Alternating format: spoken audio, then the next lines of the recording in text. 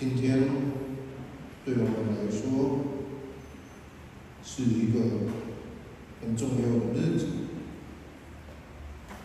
圣教会也希望我们在这个日子可以纪念耶稣基督被钉在十字架上，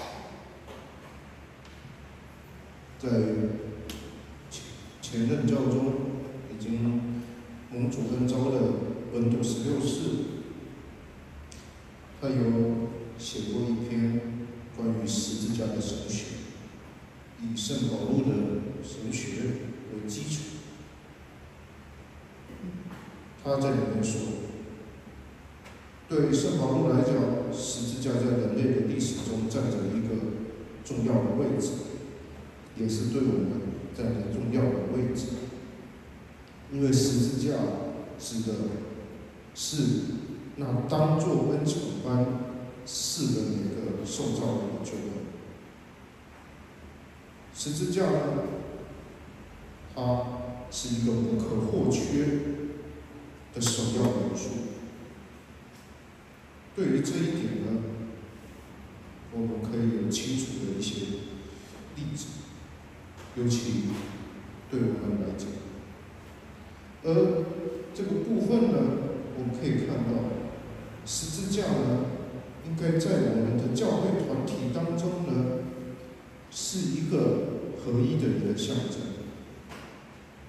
我们因为耶稣基督的死亡，我们因为耶稣基督的牺牲而聚集在这里，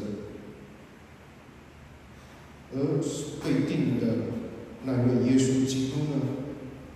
他因为他身为天主的德人，而赐给我们这么大的恩惠。十字架对当时的犹太人来讲，甚至对我们现在有些想法呢，是绊脚石，是愚笨的。在格林多前书的一章。也提醒过我们，十字架的道理，为上亡的人是无往的，为我们得救的人却是天主的人。天主决意以无望的道理来拯救那些相信的人。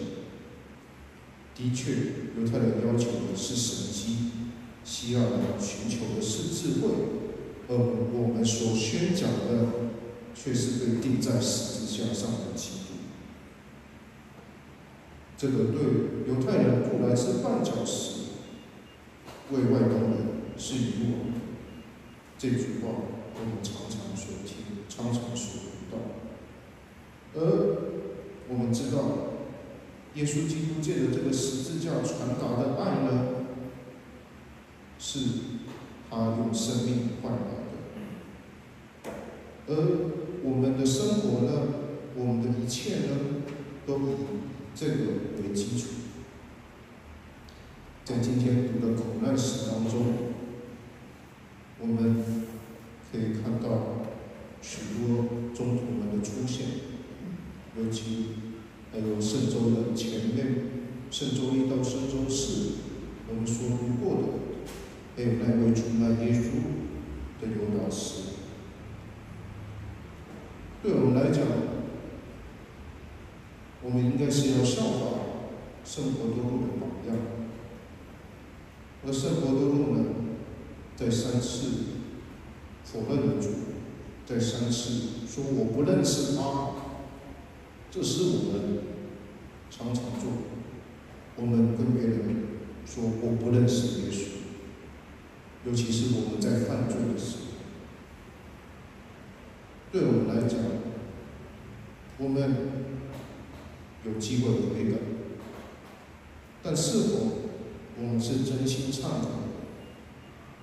耶稣对我们是真心的爱我们，所以把自己钉在十字架上。所以我们今天也要像我们的首任教宗多多禄一样，有一个真心忏悔的心。在天主台前，求天主是给我力量，是给我恩宠，可以再次了解他是在十字架上为我们牺牲的一个道理。